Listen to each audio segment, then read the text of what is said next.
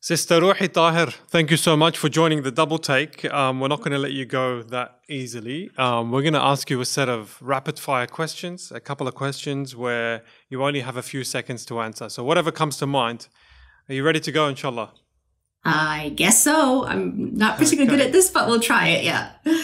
Okay, an easy one. Um, your favorite qari reciter of the Quran? Uh, there's so many. Um, oh my goodness. Um, the the last one you had on repeat. Uh, probably Sheikh Mashari, probably more recently, but yeah. Yeah, fair enough. That's an easy one.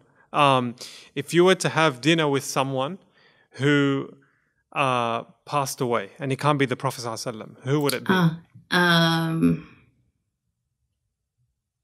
Imam Bukhari. Why?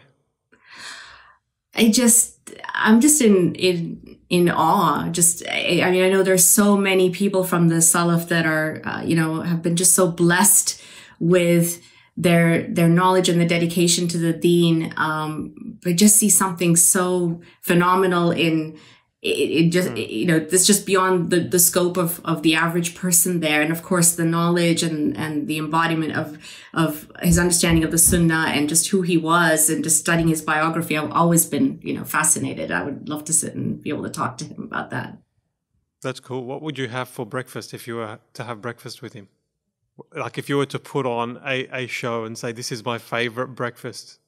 Well my favorite breakfast i well i i love I love um, I love almonds. I love eggs. I love fruit. Uh, I don't know. I guess I, I, I like all kinds of food. So hopefully uh, some of that will work.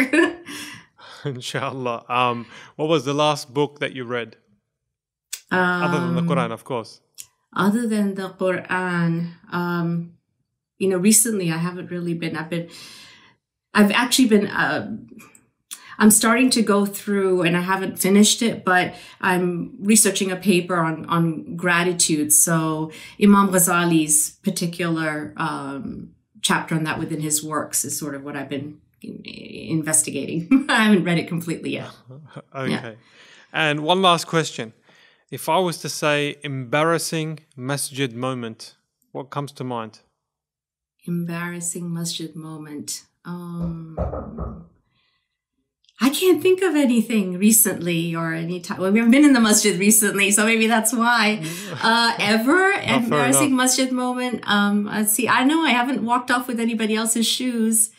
Um, oh, I had somebody literally come and almost like sit on sit on my literally sit on me like in in the crowd. It, it was in the haram. It was a few years ago, and it, no language. I mean, the language barrier was there and all of that. And I was with a family member and somebody just came and just square, like just sat right in my lap.